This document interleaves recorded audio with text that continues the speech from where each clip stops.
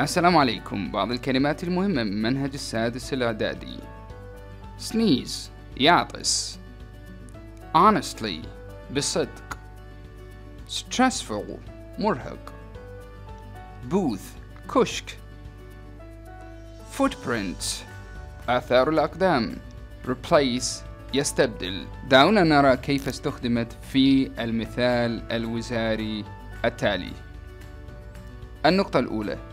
We need to the trees that are cut down. نحن نحتاج إلى فراغ الأشجار التي قطعت. طبعا هنا راح يكون replace. We need to replace نستبدل الأشجار التي قلعت. النقطة الثانية I always فراغ when I put pepper on my food. أنا دائما ما أعطس عندما أضع الفلفل في طعامي.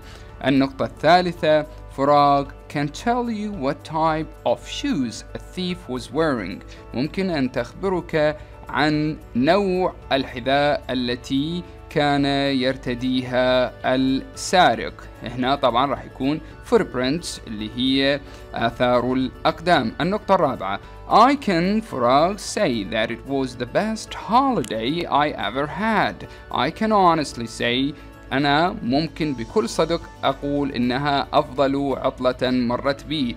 النقطة الخامسة A فراغ is a box like a room where interpreters work. وهذا راح يكون عليكم إنه تجاوبون هذا السؤال الأخير. والبوكس هو الصندوق في أمان الله وحفظه.